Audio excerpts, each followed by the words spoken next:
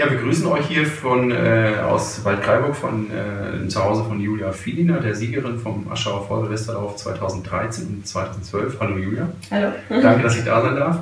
Ähm, du hast ähm, eine tolle Triathlon-Saison hinter dir mit einem Ironman, starken Ironman in Klagenfurt und du hast wieder mal eine sehr starke 10 Kilometer Zeit gelaufen und zudem als deutsche Berglaufmeisterin überrascht in der Presse, was ich gesehen habe.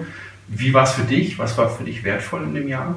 Es war eine sehr, sehr schöne Saison. Hat eben gut begonnen mit dem 10 Kilometer Lauf in Bad Füssing.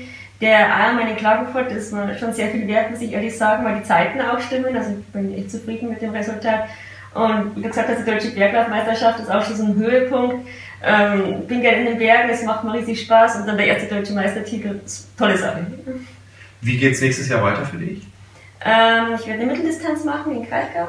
Mhm. dann, ich habe mich für die Europameisterschaft Berglauf qualifiziert, wow. auf Madeira starten und eine Woche später das Road Challenge. Okay. Wie passt für dich da der Vorsilvesterlauf mit rein?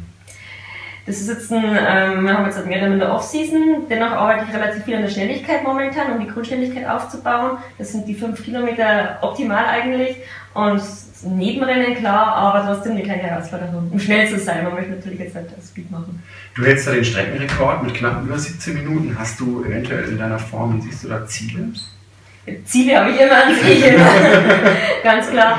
Ähm, momentan läuft es ganz gut, die Schnelligkeitstraining. Ich bin zufrieden, tut auch nichts weh. Mal schauen, ob man die 17 knacken kann, weiß ich nicht, muss man schauen. okay. Ähm, dieses Jahr haben wir ähm, sehr starke Konkurrenz plötzlich auf dem Schirm für dich. Das freut uns als Veranstalter. Junge Mittelstecklerinnen, auch die Julia Kick ist, glaube ich, verbessert. Die Thea Heim ist, wie gesagt, schon gemeldet. Wir schauen mal, wer noch dazu kommt. Ähm, trotzdem sehe ich dich da natürlich äh, ganz stark vorne. Wie ist deine Strategie? Wie du so gesagt hast, junge Mittelstreckerinnen, habe ich am Schluss auf alle Fälle keine Chance mehr. Ich muss von Anfang an rennen, was geht.